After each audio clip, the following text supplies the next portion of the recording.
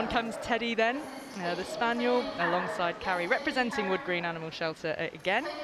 And Teddy is six years old, was found as a stray with another another dog and taken to Wood Green. And uh, it says on my notes, Graham, that uh, Teddy loves to follow his nose, which he was seeing a good example of. Oh, hello, cup of coffee oh. maybe? Oh, yes, that, oh, well, that carpet just feels too good. Here we go.